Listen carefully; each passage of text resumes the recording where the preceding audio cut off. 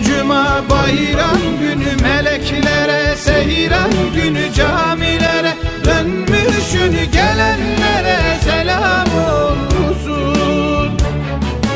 Cumamız mübarek olsun. Gelenlere selam olsun. Cumamız mübarek olsun.